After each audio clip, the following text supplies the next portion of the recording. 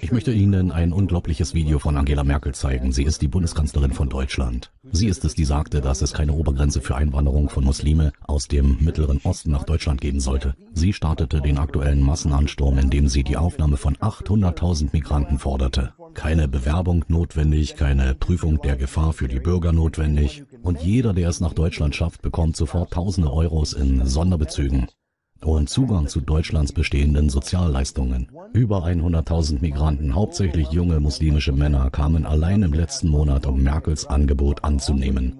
An einem einzigen Tag kamen alleine in der Stadt München 10.000 Männer an, stellen Sie sich das vor. Und wenn man das auch nur hinterfragt, wird man Nazi genannt, was in Deutschland die Menschen schnell zum Schweigen bringt. Lassen Sie mich Ihnen ein Video zeigen. Es ist vier Minuten lang, aber jede Minute ist absolut erstaunlich. Es ist eine Frau in Deutschland, die herzig aussieht, tendenziell wie eine progressive Liberale. Und sie fragt Angela Merkel, gefährden Sie nicht unser Land mit Ihrer Politik? Schauen Sie. Sie haben vorhin auch die Verantwortung von dieser ganzen Geschichte mit den Flüchtlingen angesprochen. Eine der Verantwortungen ist es ja aber auch, uns hier in Europa zu schützen.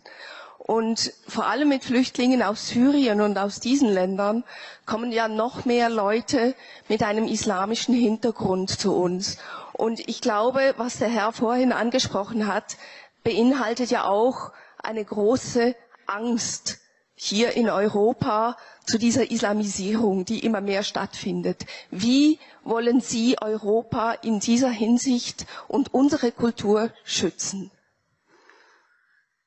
Ähm, ich glaube erst einmal, dass der Islamismus und die, der islamistische Terror leider Erscheinungen sind, die wir ganz stark natürlich in Syrien haben, in Libyen haben, im Norden des Irak haben, aber zu denen äh, leider die Europäische Union ähm, eine Vielzahl von Kämpfern beigetragen hat.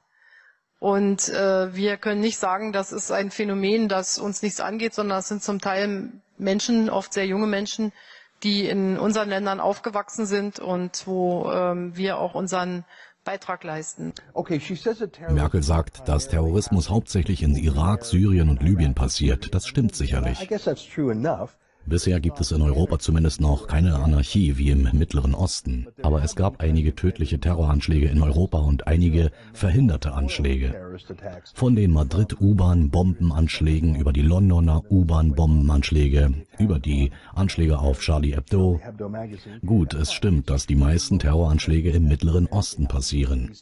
Aber haben Sie danach bemerkt, sie beschuldigte Deutschland und beschuldigte Europa weil einige Muslime aus Europa zurück in den Mittleren Osten gehen, um für den IS zu kämpfen. Sie behauptet tatsächlich, dass Deutschland den Terrorismus des IS verursacht. Der Grund, Deutschland nahm einige muslimische Terroristen auf, die dann in den Mittleren Osten zurückkehrten. Sie macht Europa für den IS verantwortlich. Und hier kommt mehr. Zweitens, ähm, Angst war noch nie ein guter Ratgeber, also es ist im persönlichen Leben nicht und es ist auch im gesellschaftlichen Leben nicht.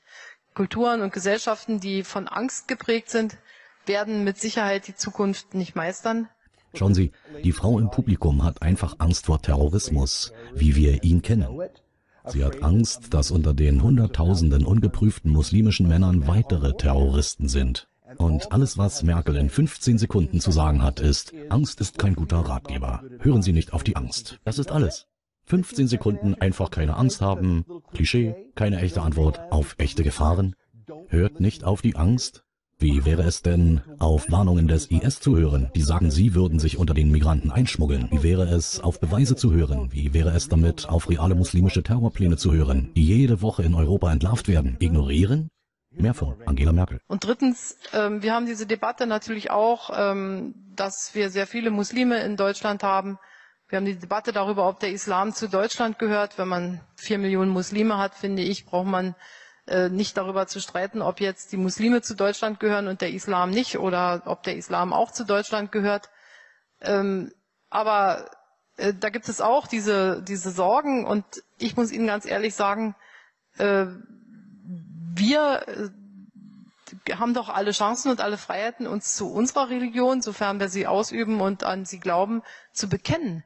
Jetzt schlägt sie also vor, dass der Islam zu Deutschland gehört. Und Deutschland gehört jetzt also auch zum Islam? Nun, sie sagt, es sind ohnehin schon vier Millionen Muslime in Deutschland. Was soll man da also noch machen? Richtig? Hier mehr. Und wenn ich was vermisse, dann ist das nicht, dass ich irgendjemandem vorwerfe, dass er sich zu seinem ähm, muslimischen Glauben bekennt, sondern dann haben wir doch auch den Mut zu sagen, dass wir Christen sind, haben wir doch den Mut zu sagen, dass wir da in einen Dialog eintreten.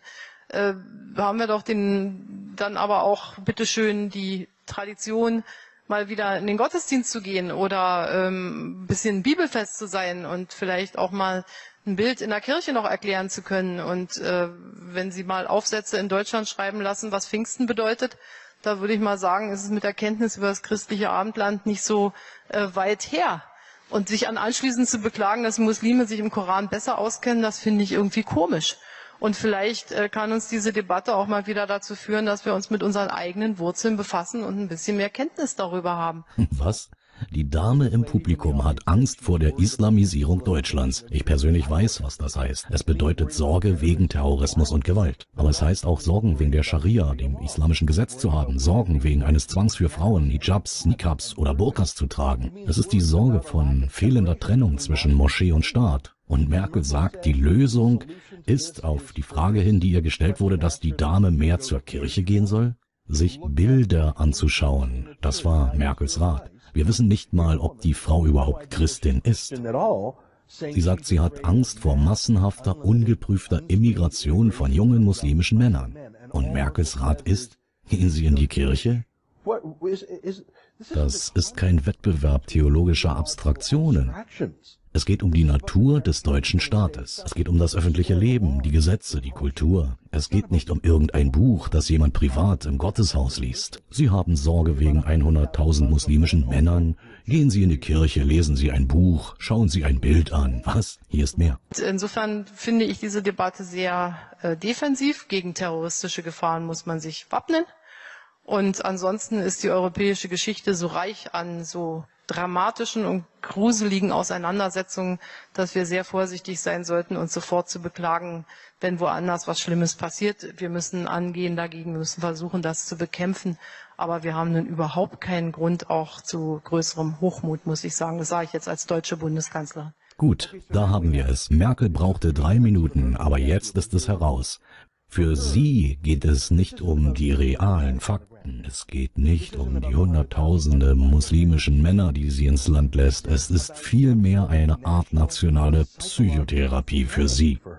Als deutsche Bundeskanzlerin sagt sie, sicher, Dschihadisten sind böse, aber was dürfen wir Deutschen uns ein Urteil erlauben? Vergesst nicht, wie böse wir in der Vergangenheit waren. Nicht nur früher, auch in naher Vergangenheit. Seid also nicht abgehoben und arrogant, sagt sie.